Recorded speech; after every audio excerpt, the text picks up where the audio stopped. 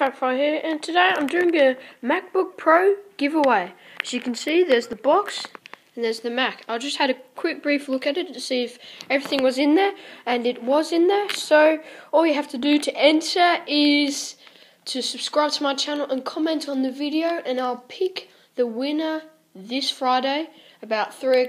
Um, not this Friday. Ah, not this Friday. About Saturday. No, about Monday